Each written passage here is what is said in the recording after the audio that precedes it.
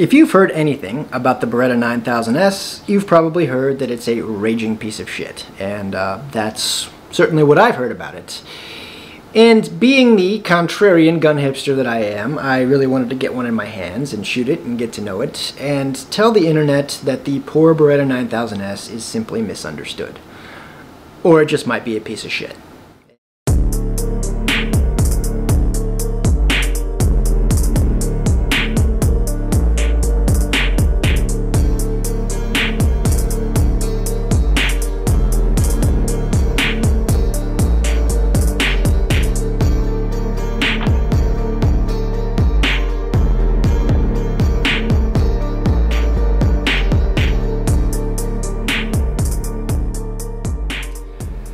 If you've watched my other videos, you're familiar with my channel, you know I'm a big Beretta fan. I've got a 92F from the 80s, I've got a Cougar from the 90s, I've got a PX4 compact, the Langdon Tactical Edition, I've got a Cheetah, I've owned um, a couple 92 compacts. There's always this kind of paradox in the Beretta lineup with the 9000S. It was the gun that everybody hated. It was just strange that you know they they're producing all these these really excellent pistols, and then you know why is the 9000S just the you know redheaded stepchild, and why does everybody hate it? So I was really curious about that, and I saw this one for dirt cheap at my local gun shop, and I decided to pick it up. Just a little bit of background on the gun. This was Beretta's first polymer frame pistol, and it was released in 2000. I think it was made until about 2006. It didn't do that well, I guess, and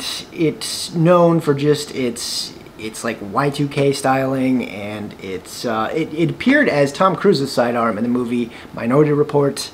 It's pretty well known for that, if, if anybody knows about it. It's a very compact gun, and clearly Beretta was trying to get a piece of the concealed carry market, which was, you know, rapidly expanding um, through the late 90s. And it's size-wise, it's quite a bit smaller than a Glock 19. It's a bit bigger than a Glock 26. The guns that I feel it is closest to in terms of its overall footprint um, are the HK P2000 SK and the CZ Rami. It really kind of fits that footprint. And while it, you know, it filled the right niche in terms of size, it the gun is just super chunky and super fat and people really give it a lot of heat for that. I'll say it looks freaking cool. I mean, I, I, really do like the looks of it, and um, you know, it's nice and streamlined. And as as fat as the gun is, it has this very rounded profile, and you know, the slide is kind of rounded, and it it kind of bleeds into the frame in which is also rounded and it has almost this cylindrical character to the barrel. And you know I threw it in like a soft holster and carried it around a little bit and it's it's honestly given its width and everything and how heavy it is and it, it is very heavy. It's a it's a dense chunky feeling gun um, which I kind of like but it's it's not terrible to carry. It's certainly no no worse than carrying, um, like I said, a double stack subcompact double action, single action gun like a Rami or a CZ, or I'm sorry, a HK P2000 SK, both of which I've owned. So Beretta did some, had some interesting innovations with this gun, and you see that it has the open top slide, which is, you know, very common with most Berettas, especially the 92. Um, and a lot of the earlier models had, had the same kind of design. And as, as you know, as you probably know, the 92 uses the Walther P38's locking block system, so it doesn't need to like lock up on the top of the barrel like a Browning system would do, you know, with the concentric lugs that you'd find on uh, like a 1911 or a Browning High Power or the Sig Sauer style like squared off breech section which locks into the ejection port.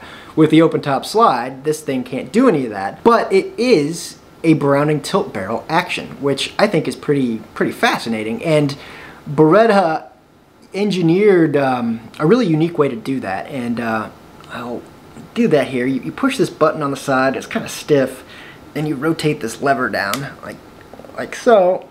There, and you can see that the slide popped off, and you just kind of bring it off the rails. But um, you can see here inside the gun, it's got this like typical Browning high power style camming lug here, and that's what cams the barrel down, but the gun actually locks up instead of on the top, like, you know, virtually every other Browning style action, it locks up here on the bottom of the slide, which is pretty cool. And it does that via these, these side lugs here. So that's pretty cool. And um, you can see how it just kind of fits in there. And um, I think that's pretty ingenious. And it has this really, really big, beefy, like locking insert inside the frame here. And, and a lot of guns, like polymer frame guns, have some sort of locking insert that like cams the barrel down.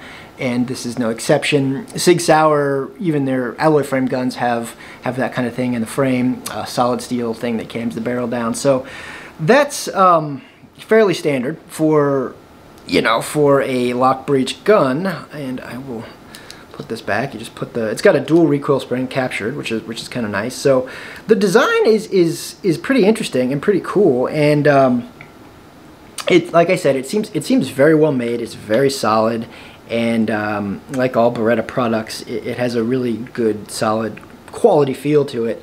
Also interesting, it has uh, slide rails like a CZ where the slide actually rides inside the frame rail. So you've got these kind of deep rails on the side of, of the frame and the slide sits down in that. And then of course everyone naturally complains that you can't grab the top of the slide because apparently it's too hard for people to do that. Anyway, I think with the interesting design and interesting geometry, I think it, it kind of fucked up the placement of the trigger relative to the grip and you'll notice, I decocked it there, you push up on this safety to decock, um, kind of like a Beretta Cheetah, but if you look how far forward that trigger shoe is relative to the grip, it has an extremely long trigger reach. It feels like a 45, and you can see I'm, I've got really small hands, short fingers, and for me, the, the double action trigger reach is, is really a stretch. It, my hand's very stretched out, and it's, it's hard to get a good grip on the gun as I'm pulling the trigger even in single action, like, you know, I can get, you know, my fingertip on it with no problem, but the trigger is reaching back from its pivot point to kind of allow you to get your finger on it. And um, even in single action, it, your hands just feel kind of stretched out. You don't feel like you have really good control over the pistol. And um, that, that was my experience at the range.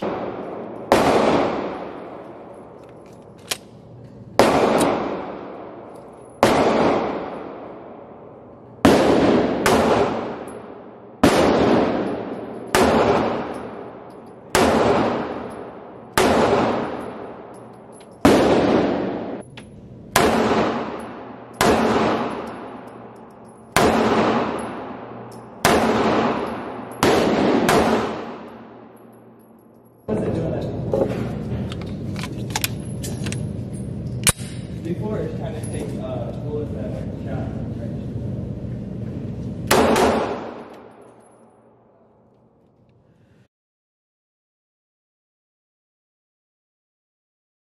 I was able to get some some halfway decent groups from it, but it's it's really took a lot of focus to um, you know get the trigger technique down, and it, it's very much a um, a fingertip kind of affair when you're pulling this trigger and it's very sensitive to inputs and it's not forgiving and uh, if, if I didn't just do it just right the thing would go right. It would go a couple inches right and um, it was not an easy gun to shoot well and I shot it okay I think. The trigger in single action isn't isn't terrible. It's um, it's got a little creep but it's got a nice crisp break. The double action is insanely long. Like you know it starts far forward like I said but it, feels like it's never going to break and it, it's not horribly heavy and it doesn't stack horribly but it's not an easy double action to shoot. Uh, that that's for sure. And the recoil on it actually isn't too bad and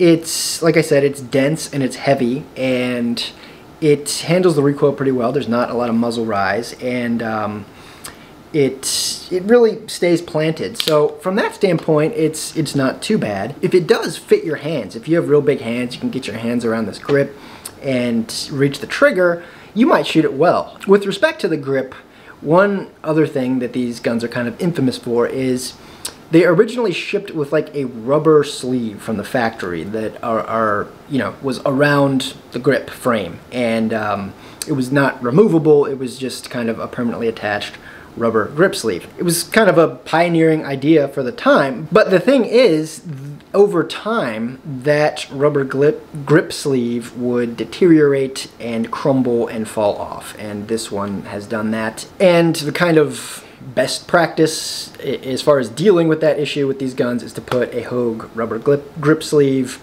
on these things. That's what I've done. Um, actually, if you look on the internet to reviews and stuff, they say that the one that goes to the Springfield XDE fits the best, and you get almost like a you know 95% fit, and it covers it covers this part a little better and everything like that. Uh, this is I don't even remember which one of these is you know what gun this grip sleeve is actually supposed to be for. I just had it and it, it fit on there okay. And it, it does make it feel quite a bit better, but it's still a girthy grip and for a gun that already has a crazy long trigger reach, it's it's not ideal. As far as reliability, it uh, with all I put over 200 rounds through it. Um, I don't know, probably close to 250 rounds through it, and all the factory ammo I gave it, it ran just fine. It did not like remanufactured ammo. I had uh, some failures to extract, and um, you know, I you can't, I guess, blame a gun for not running really shitty ammo. And um, I tend to think this ammo, the the casings, there were some like you could see like a little bit of bulge on the casing, so I think it was probably like sticking in the chamber, and um, it just the extractor wasn't able to pull it out. So, you know, do, do, you fault a gun for that? I will say, like, some of my other guns have, have cycled that ammo. This one didn't. I have had, you know, respectable guns that didn't run remanufactured ammo. Both CZs I've owned. Um, I've owned a CZ Rami and a PCR. Neither of them were too crazy about remanufactured ammo, and I've heard CZs kind of have like tighter chambers, so maybe they're a little less tolerant of, um, you know, shitty ammunition. So, you know, I, it's not that I would ever carry remanufactured ammo or use it for self-defense or anything like that, but I think, you know, you get a gun that can run crummy ammo, you know it's going to run decent ammo. And it's just kind of, I guess, a little extra reassurance, a little extra insurance that there's some margin of error there for, for the gun's going to cycle. So, you know, that's... Um, that's a personal choice. So some of the other criticisms you'll encounter on the internet about this gun, the safety decocking levers are super stiff and hard to actuate. Somewhat true. It, it's stiff putting on the safety for sure, and it has loosened up. I, I don't think this gun had been shot much when I got it. Um, it has loosened up since I've messed with it a little bit. And you can carry this gun cocked and locked too. It's got it's got a safety decocking system, kind of like a USP, where um, it's actually the opposite of USP. But you push up and it decocks, and then it's in safe, and you put it down one notch, and uh, then it's off safe. So, um, you know, if you're on, you know, with a hammer cocked in single action, you push it up one notch, and then you can carry it cocked and locked. It's a little, it's a little slippery. The, the top of the lever is a little slippery, so I think you'd have to really practice that if you were going to carry this thing cocked and locked, at, drawing it and flicking this thing off. And it is a little stiff, but to me that's not a deal breaker. I, it's it's not too bad. Um, I've had other stiff safeties and other guns. This one isn't any worse. Another thing you hear is that when you decock these things, sometimes the decocker will fail and it can just discharge the gun. Um, and I've also read that that was a problem on the 40 cal ones and not the 9 millimeters. I decocked this gun lots of times at the range with a round in the chamber, no issues. So uh, for in my experience with a 9 millimeter, it was a non-issue, and I would have no problem decocking this, you know, for a carry situation at home or, or whatever. I shit you not the safety literally just broke as I was as I was filming this review. So the it used to be you could you could push it up into this notch and it would be on safe, but whatever you know notch holds it in the safe position has broken and it just decocks. So now it's a G model, like on accident. so I guess I mean I mean a lot of people prefer the G model anyway, but uh, you know that's not great and it doesn't speak, I guess, highly of, of the integrity of, of this gun's uh, safety system. So in fairness, I took, after the safety had broken, I took this gun to the range and chambered around and decocked it a bunch of times and it still did not go off. So I don't think the fact that the safety notch broke had any impact on its ability to decock safely.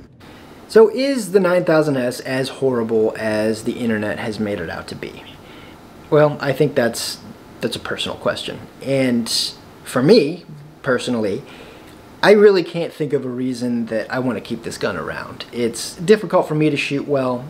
It's uh, you know, and the ergonomics aren't great. It's not horrible to carry, you know, like I said, it's got that nice rounded profile and it's a good size overall, but there are easier guns to carry. In terms of reliability, it's it's not I'm not going to give it an F, but I'm not going to give it an A either. It seemed like it had been fired very little. It's, it was almost like a brand new gun when I got it, so maybe there's a little bit of a break-in period, but I think overall it's just in terms when you compare the rest of Beretta's product line, it just isn't as well thought out. I think maybe they were scrambling to meet meet the demands of a concealed of the concealed carry market in a unique way and they cut some corners, made some compromises and did some things that just kind of undermined the potential of the gun. I'll say it, it is well made. It does seem well made, but I don't think it's I wouldn't say it's well executed. I guess that's my, my take on it. These are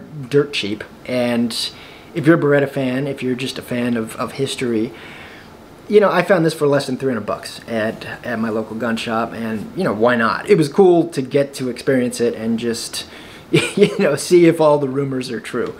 You may love this gun, and for the right hands, the right shooter, the right person, it may um, it may work great. But it's a cool piece of history, and glad to have had the chance to shoot it and get to know it and tell you guys about it. So um, that's really all I've got to say about the Beretta 9000S, and um, I'll probably be selling it here before too long, but um, just figured I'd make a quick video on it. So thank you so much for watching.